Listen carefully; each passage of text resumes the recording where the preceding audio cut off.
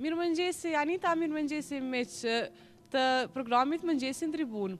Ndodhemi këtu në hapësirat e kampusit universitar të Universitetit të Prishtinës, Hasan Prishtina, dhe sot do të flasim për bursat. Ditë më parë, pati aktivitete nga studentët të cilët kundërshtuan fuqishëm vendimin e këshillit drejtuës të UP-së, Lidhur me uljen e bursave, në fakt të shumës së bursave, nga 600 në 500 euro. Studentët këtë nuk e pranuan, dolën me disa aktivitete, ndërsa tani do të mësojmë detajet se deri ku ka shkuar procesi, a do të ketë zbritje të shumës së bursave apo çfarë ka ndodhur. Për me folë më tepër për këtë çështje, unë pranë vetes kam kryetaren e parlamentit studentor, e cila do të na sjellë sigurisht detajet. Mirëmëngjesi dhe faleminderit që zgjodhët Mëngjesin në Tribunë. Mirëmëngjesi gjithashtu edhe juve faleminderit për ftesën. Kemi parë disa aktivitete që keni kundërshtuar, domethënë uljen e shumës së bursës. Ato Pothuajse janë ndërprerë. Çfarë do të thotë kjo?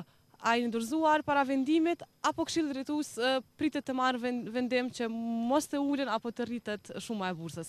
Qysh ma herët, me datën kur ka dalë vendimi, një vendim i tillë nga Këshilli Drejtues, studentët, faktikisht Parlamenti Studentor ka bërë një shkresë, një kërkesë drejt Këshillit Drejtues që ky vendim të rishikohet dhe të kthehet vendimi i mëparshëm.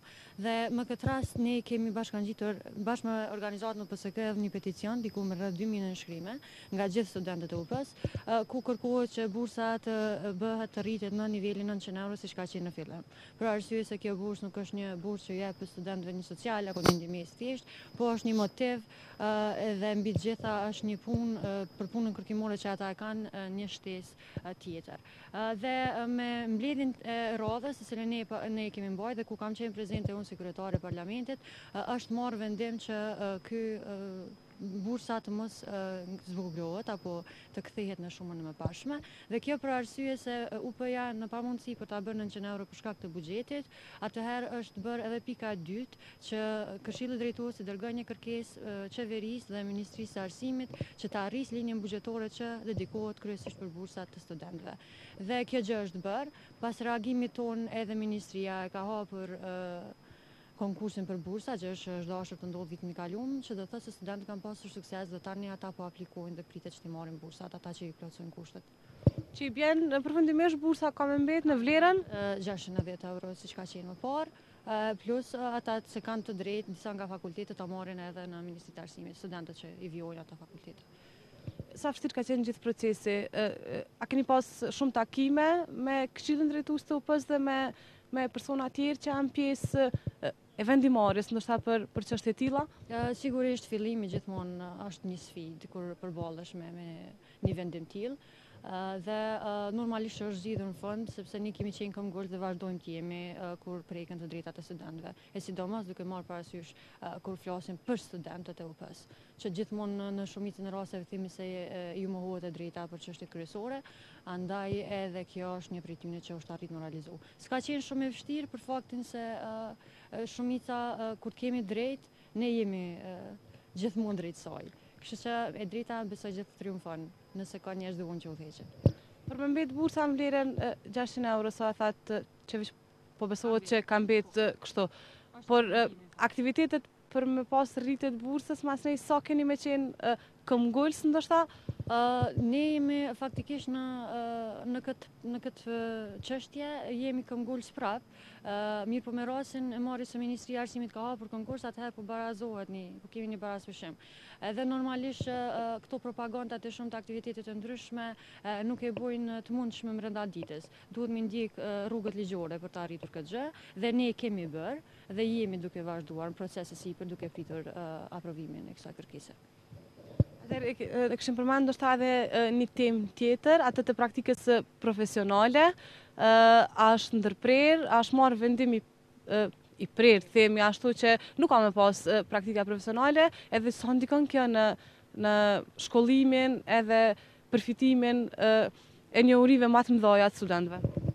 Vitin e ka, në faktikisht, ka qenë një shprehi e cila shumë e mirë për studentët edhe për shtetin në përgjithësi, ku studentët kanë pasur të drejtë në bazë të institucion, në bazë të profilizimit të tyre, varësisht prej profesioneve, ta ndjekin praktikën e tyre në institucionet publike, gjë që kanë ndalu, edhe për ne është një problem kyç edhe shqetësues, që nuk do të heqim dorë edhe në këtë çështje, Për arsye se studentët e meritojnë. Ne po presim cilësi, po lipim hulumtues të rinj, ku nuk po ofrojmë kushte për të tillë.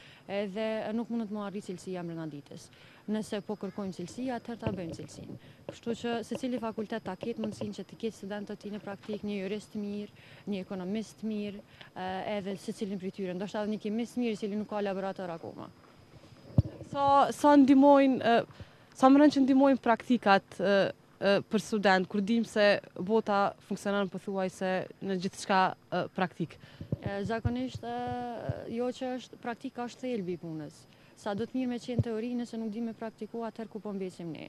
Kështu që është ajo pika kyçe ku ne duhet me u mbështet. Po nisem prej fakulteteve të cilat e kanë praktikën prej fakultetit të edukimit për shembull, që është një plus i madh se e ka nëpër shkolla, edhe e testojnë veten çdo ditë. Si mësimdhënës, secilido prej nesh e teston veten në profesionin e tij. Kjo është e mira që të mos shikohet më një notë mesatare e cila nuk një vetëm një notë mesatare ose një background i studentëve, po të shikohet se sa ata janë të zot në punën e tyre. Sa për këtë çështjen e praktikës, sa keni me me kërku dhe sa keni me qenë këmbëngulës për këtë temë? Sigurisht kërkesat janë duke u bërë, shkresat e shumta të cilat do të drejtohen, jo vetëm mediave edhe Ministrisë të Arsimit, mirëpo do bëhet për çdo institucion publik do bëhet një shkresë e tillë, që Ministria dhe Qeveria të lejojë mbajtjen e këtyre praktikave. Normalisht gjithmonë parlamenti studentor i ndjek rrugët ligjore deri në deri në shterimin e tyre dhe atëherë mund të merren edhe masa të tjera.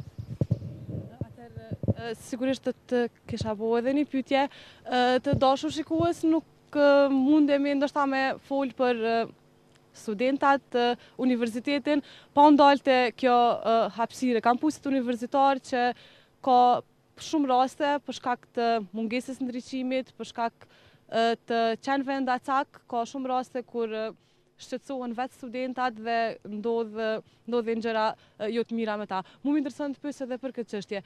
A keni ngritë ndonjëherë zërin për këtë pjesë kur jemi dëshmitarë të shumë rasteve dhe a keni marrë ndonjëherë ndonjë përgjigje?